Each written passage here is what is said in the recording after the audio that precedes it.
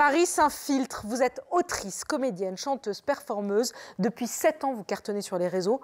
Comme souvent les humoristes qui commencent sur les réseaux avec euh, des vidéos qui cartonnent. 6 millions de vues, 7 millions de vues pour certaines vidéos sur TikTok, plus de 500 000 abonnés sur Insta.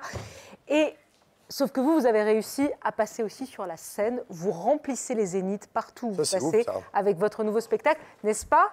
Elle, elle cartonne, la petite. Ouais, euh, alors que bah, pour une fois, je vais dire que j'ai- on se connaît pas personnellement. D'habitude, je dis que je connais tous les humoristes, mais euh, ouais, ouais, je crois qu'elle cartonne. Bah, il suffit de regarder euh, le Dôme, euh, le Zénith. Non, le mais Zénith. remplir un C'est zénith, complet partout. C'est immense, ouais. hein. C'est la première fois que j'ai j'ai des, des assistants de- d'un artiste qui va me dire T'as pas besoin d'annoncer salle Playel, c'est complet. Je l'annonce quand même, donc c'est c'est complet à la salle Playel à Paris les 20 et 21 mars prochains. Au Casino de Paris, vous serez du 15 au 17 mai, avant donc une tournée du Zénith partout en France. On va parler de votre spectacle, mais d'abord, vous vous êtes fait connaître avec une marque de fabrique, c'est de taper l'incruste un peu partout. Marie s'infiltre, Marie s'incruste dans les défilés de mode, dans des meetings politiques, dans des manifs pour déranger, bousculer, importuner et surtout faire réagir.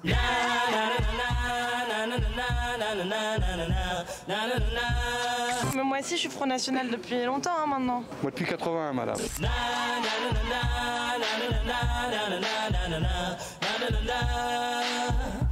C'est parti, pardon, excusez-moi. Merci. Here come the hot stepper. I'm the lyrical gangster. Big up the crew in the area. Still love you like that.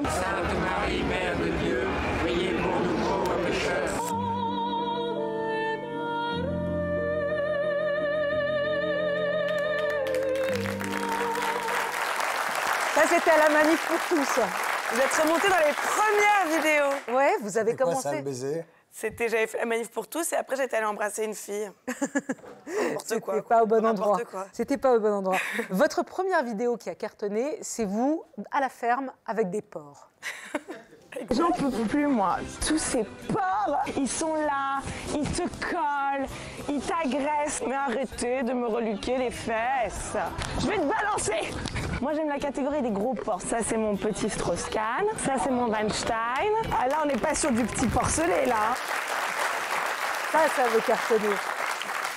Ça, ça avait cartonné. Mais ce que j'aime aussi chez vous, c'est votre histoire qui est assez, assez dingue, assez, assez particulière, assez stupéfiante. À l'origine, vous êtes une bonne élève, euh, famille plutôt bourgeoise, vous grandissez à Janson de Sailly dans le 16e arrondissement, puis Ouais. vous faites Sciences Po, et vous vous destinez à faire de la politique. En gros, vous dites, je veux être une Ségolène Royal qui a réussi. Je vais être Gérard Larcher. vous voulez être Gérard Larcher. Non, mais c'est vrai, vous faites plein de stages dans les ministères, vous voulez faire l'ENA, et vous voulez faire de la politique. Je prépare l'ENA même. Je commence à préparer l'ENA et, et j'adorais ça.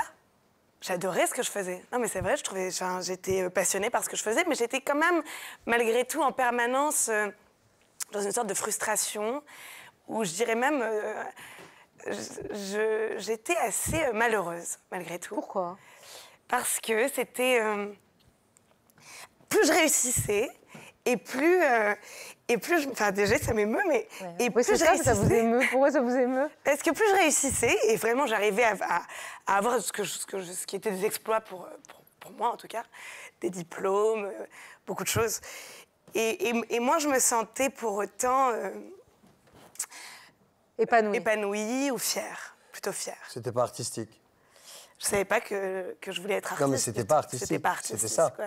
Mais sinon, Et vous puis auriez. c'était, c'était, c'était toujours, euh, il fallait que je prouve en permanence, que je prouve aux autres, que je pouvais exister comme ça, comme ça. C'était, c'était un parcours euh, génial. hein. Je me suis éclatée. Mais vous auriez pu être ministre aujourd'hui. Vous savez qu'ils cherchent des femmes euh, chez Macron. Ah, mais j'ai, été longtemps en politique En voie de. Dans Ah quel ouais. parti vous étiez? Socialiste. Je suis désolée. hein. ça Vu que arrive. ça existait encore, Ça existe. encore, c'est parti. Euh, non, pas. ça n'existe plus. Bien. Enfin, moins. Voilà, ça Et puis, un beau jour, vous avez quel âge quand vous décidez de. Bah, c'est tout juste. de tout larguer, Je commence la prépéna à 26 ans et, je, et je, je rentre au cours Florent par hasard. Et là, ça a été la catastrophe. Pourquoi? Parce que euh, ça m'a plu. Ça m'a Ah plu, mais ouais. ça m'a plu, mais c'est pas que ça m'a plu, c'est que je suis devenue dingue. Et en fait, ce qui se passait, c'est qu'avant de faire Sciences Po, j'adorais les lettres, j'avais fait une hippocane, une canne, j'avais des ratés normales sup, ça a été l'échec de ma vie, mais on s'en fout. Des, des- des- des histoires de- d'enfants gâtés. Mais et je me rends compte qu'en fait, ce que j'aime dans la littérature, c'est pas tellement le- de lire, mais c'est de réciter le texte. Donc on avait vraiment Gérard Larcher et Pierre Arditi. qui sont mes deux destins. Eh ben oui, c'est Ouais. vrai ça. Et vous avez choisi Pierre Arditi. Et j'ai choisi Pierre Arditi, mais Et sans pas autre- Gérard Larcher. Non. Je comprends pas. Mais en l'écoutant, Ouais. j'ai eu une petite dit, j'aurais dû prendre l'archer plutôt qu'Arditi. Vous l'avez trouvé sympa, le président du Sénat Et qu'est-ce que, qu'est-ce, que, qu'est-ce que la carrière de quelqu'un comme Pierre Arditi évoque pour vous? Mais dès qu'il parle du théâtre, il n'y a pas un moment où il parle du théâtre que je ne ressens pas. Euh, dès que j'ai fait du théâtre, j'ai su qu'il fallait que je, je fasse tout, que je mette tout en place pour pouvoir remplir mes scènes. Le cours Florent, c'était avant toutes ces euh, Marais Saint-Philippe? Ah oui, bien sûr. Au début, vous avez galéré, Ah oui, ça, et c'est votre père qui en parle le mieux. Ça m'étonne pas. C'est une histoire extraordinaire. Tu trouves? Extraordinaire parce que je n'aurais jamais imaginé qu'on puisse en arriver là. Moi qui suis euh, un pragmatique, il n'y a rien de rationnel là-dedans. L'aboutissement de 5 ans de travail, acharné, volonté absolue de pouvoir, de vouloir réussir, de moquer des uns et des autres en disant voilà où je suis maintenant, vous pensez que j'allais pas réussir? Vous pensiez que j'allais pas réussir parce que vos profs, vos proches, ils y croyaient pas. Là, vous Personne n'y croyait. Personne n'y croyait. Vous dites oui, t'es gentil, Marie, euh, retourne à Sciences Po. Bah oui, bien sûr. Qu'est-ce que tu es en train de faire? Tu es en train de gâcher ta vie, bien sûr. Vous dites, je me rends compte que j'avais une révolte en moi, innée, terrible. Ouais, très une révolte contre quoi? Une Parce qu'on la sent chez vous, on vous sent sur un. Ouais, toujours. Eh oui. Et puis, et puis, il en faut pour se foutre à poil dans les rues de Paris, parce qu'on a commencé, on va voir les images derrière moi, mais ça Alors- commence où madame se fout tout le temps à poil. Ouais, j'aime bien être à poil. Ouais. J'aime autant m'habiller qu'être à poil. faut dire que vous Mais êtes, là, vaut vous mieux. êtes gaulé. Ouais. Ouais, ouais, ouais. Ah non, un j'ai pas petit dit corps. ça, mais j'ai un dit petit vaut- corps grâce bientôt à Jimmy Mohamed qui va avoir un corps de fou dingue. Et vous êtes naturiste Un peu non, je naturiste suis pas du tout naturiste, Non. mais je j'aime bien le fait de me. Non, non, je suis pas naturiste. Je j'aime le fait de me dévoiler et d'être nue euh, souvent. Oui, mais nue toute seule, non. Oh, je traîne quand même aussi pas mal à Si, poil. voilà, voilà, Bien sûr, voilà. je suis naturiste. Alors, ce spectacle. Ce spectacle qui s'appelle Culot. C'est votre deuxième spectacle, donc la tournée des Zéniths, 100% culot. Un show qui décomplexe. On y voit quoi? Alors, qu'est-ce qu'on n'y voit pas? C'est ce que ouais, je- Oui, parce qu'on voit tout. on voit beaucoup de choses. Oui. Euh, Il y a beaucoup de choses qui se passent pendant ce spectacle.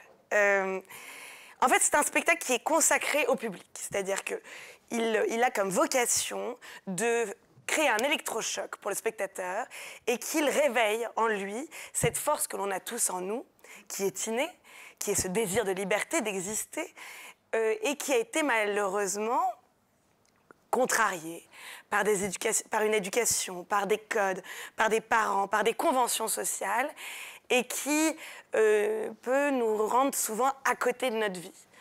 Euh, et donc c'est un spectacle qui va euh, d'abord, dans un premier temps, euh, interroger le spectateur sur son rêve. Quel est ce rêve? Qui, euh, En fait, vous parlez au spectateur? Ah bah, elle les touche, Il est, il est, euh, Il est partie prenante du le, spectacle. le- le spectateur est acteur. Le spectateur est acteur. Vous dites votre définition du culot, c'est trois verbes désobéir, oser, jouir. Oui, ce sont les trois actes du spectacle. À un moment, vous jouissez. Ouais. Ok, on va y aller. Je pense qu'on va y aller, Pierre. On va y aller, vous et moi. C'est oui. une façon de parler. Connaissez Ah oui. cette Une façon phrase de parler. C'est une façon de parler. C'est une façon de parler. Connaissez cette phrase de Michel Bouquet N'oublie jamais que le public ne vient pas pour te voir jouer, mais il vient pour jouer avec toi. Donc c'est Ah bah exactement voilà. ce que vous faites. C'est exactement ça. Et qui rejoint aussi euh, cette question de jouissance, euh, la, phase de- la phrase de Jouvet qui dit que le théâtre est un acte d'amour. Donc il y a le jeu de soi et l'amour, donc euh, la jouissance aussi. Pour avoir du culot, il faut surmonter sa peur. Ça c'est sûr, oui. Il faut accepter d'être ridicule. Ah, tout à fait, oui. Il faut être une femme Euh, pour pas avoir mal. du culot. Vous dites que les femmes mal. sont bien plus culottées que les hommes. Mm. Est-ce qu'il faut surtout pas regarder les, les commentaires sur les réseaux sociaux? Ouais, ça ne sert à rien. Le spectacle, c'est un peu partout, donc en France. Mais vous avez un autre projet, Marie, c'est d'écrire sur votre famille et votre famille juive tunisienne. Ouais. Euh, et vous en voulez un peu à votre grand-mère qui est récemment décédée parce qu'elle ne vous a pas assez parlé de ses origines. Tout à fait. Bah, bah, je, je me cueillais, euh, Oui, je vous cueille à froid. Euh, alors, oui, tout à fait. En fait, ma grand-mère est décédée et c'est à ce moment-là que j'ai compris que j'étais tunisienne. Juive, je l'avais à peu près compris. tunisienne, euh, j'avais pas du tout compris. Vous dites je suis juive tunisienne. Je suis. Juive arabe. Je suis juive arabe, oui. C'est quoi juive arabe? En fait, je, je- me suis aperçue lorsqu'elle est décédée que euh, il y a eu un- une telle souffrance en fait à partir de ce pays dont on ne m'a jamais vraiment parlé, en dehors d'un- d'une sorte de paradis perdu, que euh, que euh, la souffrance avait été telle qu'on l'avait soit glorifié totalement ce, ce pays qui était un paradis, quelque chose de soit on, on était entré dans un déni total, auquel je participais évidemment. J'arrête pas de renifler, ça va être sympa ça la caméra. Euh, et donc, euh, et donc j'ai eu un réveil brutal avec la Tunisie. Et je suis, merci beaucoup. Est-ce qu'il a été utilisé? Il est J'espère. tout propre, je viens de dire. Ah non, pas celui-là, pardon.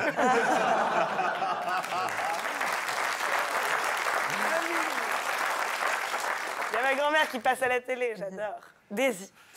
Et donc, j'ai- j'ai- je je suis partie en Tunisie faire un, un documentaire sur elle avec un, un ensemble, enfin, un album de musique. C'est dur ce que vous, Vous allez faites. repleurer là. Ouais, j'ai beaucoup pleuré là. C'est vous qui avez filmé? Ouais. Et donc, Ah je bah fais oui, un, joli, un joli film qui s'appelle donc euh, Juive arabe sur la Tunisie. Bah, J'ai hâte de le voir.